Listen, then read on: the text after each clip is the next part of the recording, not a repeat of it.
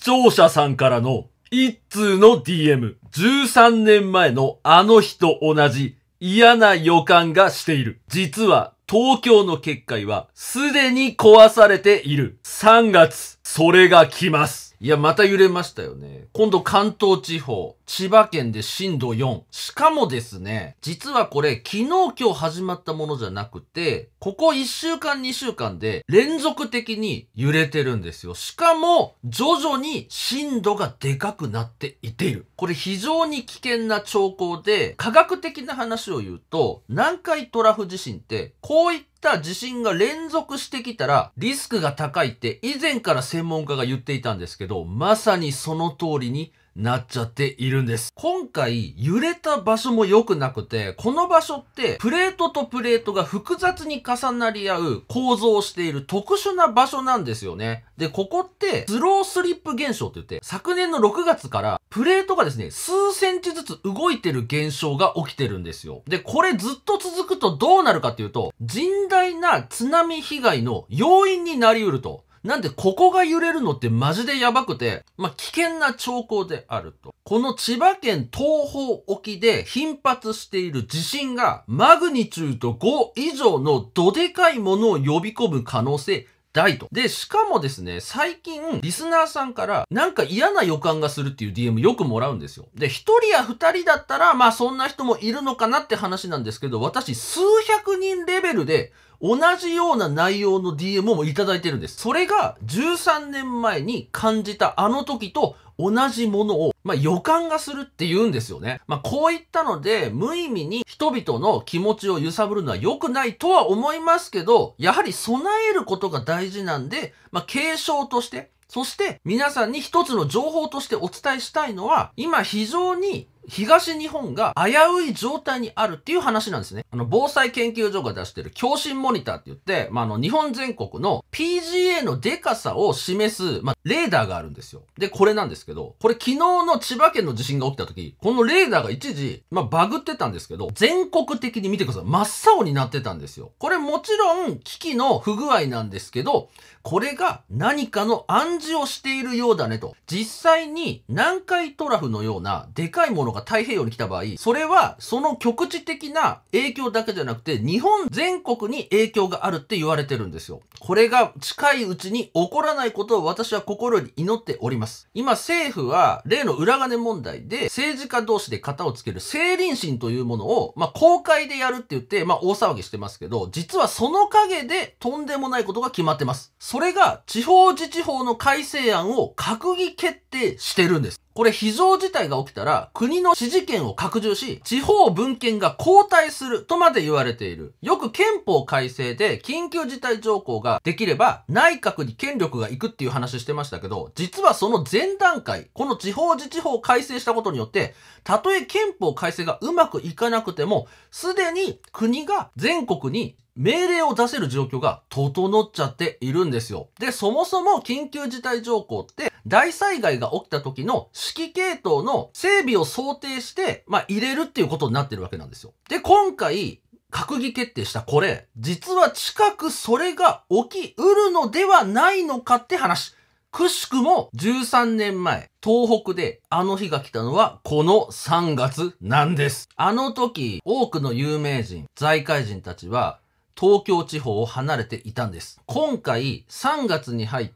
不自然な動きをしている人々はいませんか？もしそのような動きがあったら、もしかしたら東京が危ないのかもしれない。そもそも13年前に東京から人々が避難した理由。それはもともとは東京にそれが来る予定だったわけです。何かしらの理由でこれが起きずに東北だけが大被害を受けましたけど、そしてそれは13年の時を経て再び行われる可能性があるわけ。政府がなぜこのタイミングで地方自治法を改正したのか、その時が近いからなのかもしれません。そもそも東京という町は徳川家康が江戸を創建した時から結界によって守られているという話はめちゃくちゃ有名な話なんです。比叡山の僧侶であった天海。明智光秀説もありますけど、彼が風水を駆使して水の力、江戸中に結界を張り、その町は数百年、世界一の繁栄を誇るわけです。北斗七星の話聞いたことあります？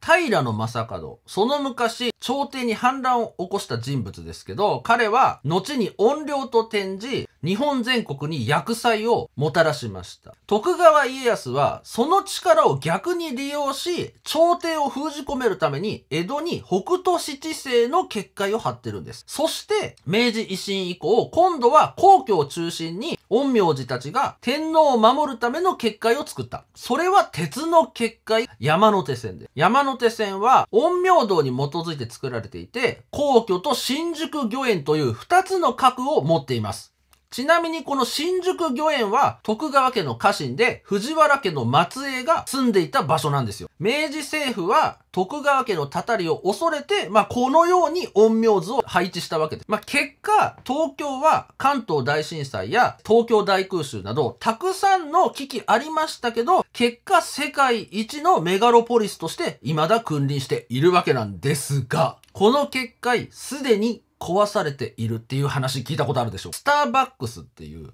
めちゃめちゃ有名なコーヒーチェーン店ありますけど、あなたの街にもきっとあると思います。すごい勢いで日本国内に店舗増やしていた。あれもちろん人気があるからなんですけど、他の目的があるかもしれないって言ったらあなたはどう思うだろうか。スターバックスのキャラクターって、セイレーンっていう、まあ、ヨーロッパの悪魔なんですよね。実は、このスターバックスが魔法陣を日本の街に貼るためにいっぱい出店してるっていう話があるわけですよ。あなたの街のスターバックス、ぜひ線で結んでほしいんです。それ実は、その街の重要な核となる部分を、ごぼう星で囲ってるっていう話があるわけ。そして、この東京、なんと、皇居の周りを二重にスターバックスが囲んでいるんです。これどういうことかわかりますか？古代の日本人たちが知恵を結集して作ってきた結界。その上から悪魔の魔法陣を敷かれちゃっているんです。これ確実に力が弱まっているんですよ。ちなみに、あの、徳川家康が平の正門の怨霊を、まあ、朝廷の対抗のために作ったっていう話今しましたけど、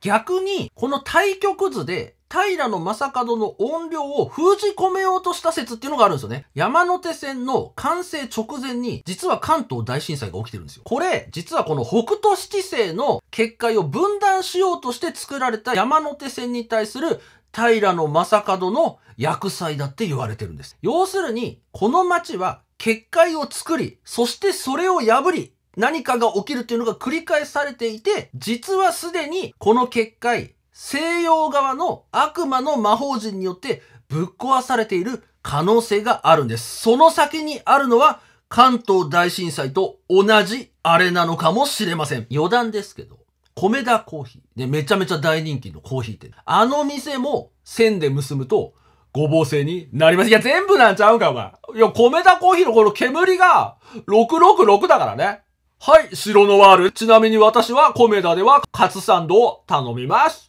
どうでもいいです。そう、実は東京の結界はすでに破壊されているんですよ。そしてそれ何のために破壊したんでしょうか？あの時、起こせなかった東京でのそれ。今、千葉の海のプレートがずれている件。そして、くしくも13年前の3月と同じ月。まさにリスク最高潮なのかもしれない。大谷翔平さんが結婚しましたけど。今日本中がそのニュースで沸き立っている中、実は閣議決定で地方自治法が改正しています。このようにスポーツや芸能スキャンダルで人々が浮かれているとき必ず何かが起きるんです。日本は地震大国。それが今来てもおかしくはないのです。ぜひ皆さん、備えあれば憂いなし。そして、米田コーヒーとスターバックスは最高です。ごめん。コーヒー飲めんかったわし。ということで、ハロー YouTube、下根司のニュースの猫カバーには、今日もね、どんぶか闇ニュースをお送りしました。ネットに書いてあった、おみそへの苦言コーナー。今日のおみその動画も見たらやむ。だから、トゥーランドで口直した。おい、それ焼肉屋のレジの横にある、ペパーミントガム Vlog なよ、それそうでしょうかの中で話題に Vlog で口直しすなねえ、パパ、聞いて聞いて。大谷選手の結婚相手、ユリアンだよ。冗談だろ？いや、そんなんどうでもいいけど、後ろの人が、万世いけるいける大谷翔平選手、結婚おめでとう一応聞いとくけど、その相手、まさか、女子アナじゃねえよな。もともと酒屋の営業マンで、中途試験で見事採用された、女子アナじゃねえよな。いや、それ桑原翔平の話になってるやないか。翔平と翔平ってこと